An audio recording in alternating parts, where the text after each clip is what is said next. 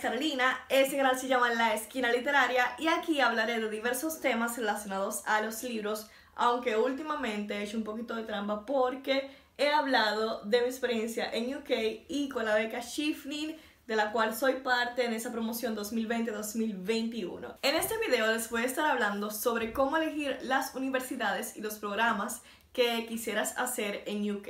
Les voy a dar algunos tips que a mí me funcionaron y espero que a ustedes también les sirva. Así que sin más preámbulos, tomen su taza de té, como siempre se me queda abajo, y vamos a comenzar.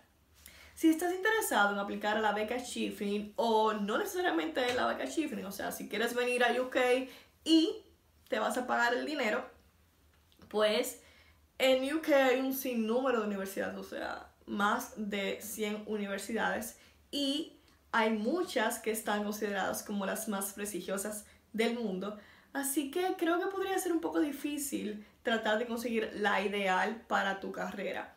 Entonces lo que a mí me sirvió es que como, bueno, quería ser parte de la comunidad Chifning y ganarme la beca, duré varias semanas antes de aplicar para ver cuáles eran las universidades que estaban en UK y cuáles me interesaban. Entonces, algunos tips para ustedes es buscar la región que ustedes quieren elegir. Si quieren Inglaterra, en Inglaterra hay muchísimas universidades interesantísimas, Cambridge, Oxford, UCL, LSE, Birkbeck, donde estudiaré, City University of London, etc. Pero hay muchísimas otras universidades, o sea, aquí hay más de 100 universidades, o sea, ustedes se pueden sentar a buscar qué universidad la atrae quizá por el programa o los programas que están vinculados al área de estudio o por la localidad, por la cultura, ya eso depende mucho de ustedes. En mi caso me sirvió que quería hacer periodismo. Algo de periodismo porque soy comunicadora social, pero no sabía qué área, no estaba tan segura. Sí me interesaba el periodismo de investigación, pero no estaba segura si ese era el máster que yo quería hacer en ese momento. Así que lo que te recomiendo es entrar a varias universidades eh, que te interesen. O sea, por ejemplo, si son de Londres, entra a las cinco mejores de Londres o busca eh, mejores universidades de Londres donde den periodismo, maestría sobre periodismo en general. O mejores universidades de Londres donde den arquitectura. Entonces ahí tú vas viendo cuáles son los máster que cada uno ofrece.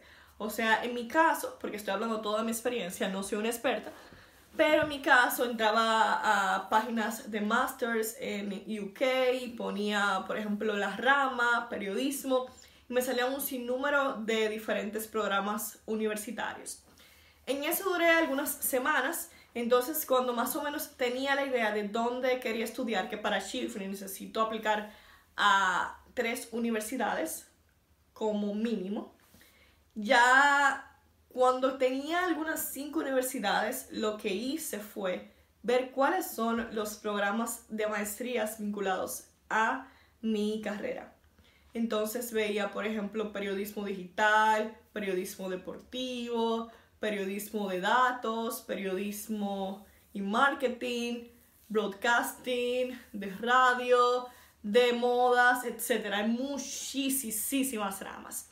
Pero ese es el momento en el que te sientes a, analizar qué te llama la atención. O sea, tiene que ser algo que te guste y que quizá en tu país puedas lograr hacer un proyecto interesante con relación a esa maestría. Estaba entre periodismo de moda, que me interesaba, pero dije, no, eh, nunca he tenido experiencia en periodismo de revista, o más bien no periodismo de moda, periodismo de revista.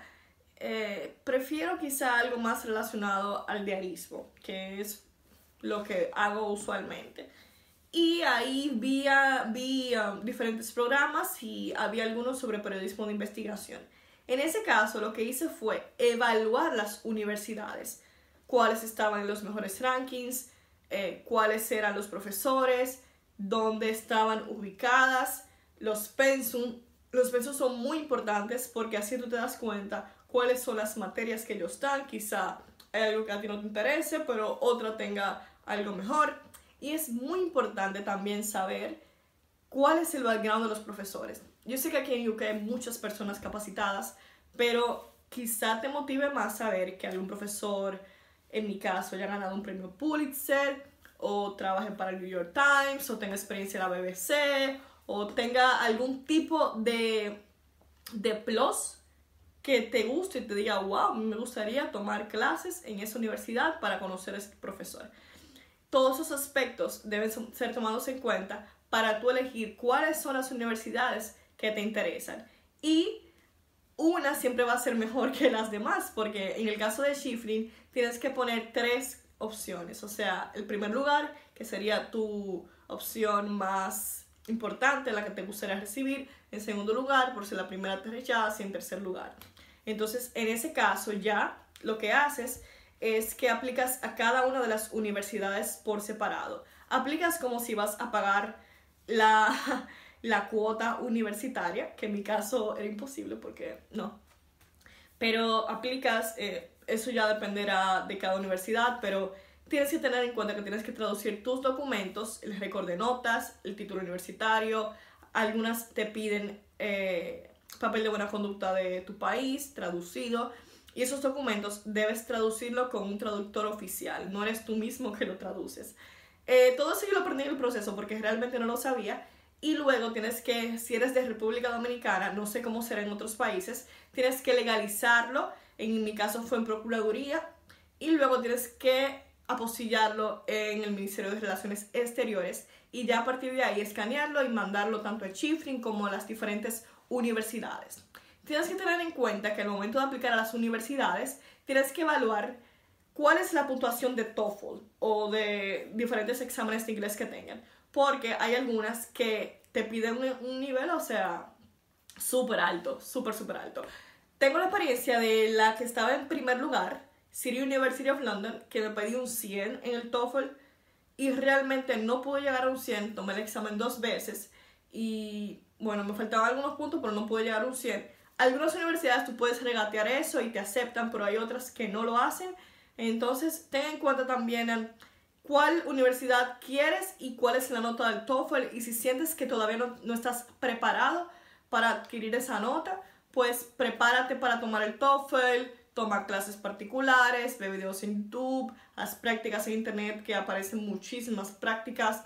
Puedes comprar libros sobre el TOEFL, puedes descargar aplicaciones eh, relacionadas a TOEFL y leer mucho inglés, leer mucho inglés y así puedes obtener una calificación óptima para que no te pase como a mí, que eso era lo único que me faltaba para entrar a esa universidad. Por igual estoy muy agradecida de Birkbeck por haberme aceptado, creo que es una universidad súper buena, con un rating muy bueno aquí en Londres y sobre todo siento que hay como que una conexión entre administración y estudiantes, son muy atentos, te mandan actividades, hacen muchas actividades por Zoom, te, te contestan rápido y tratan de solucionar rápido al estudiante. Yo creo que eso no tiene precio.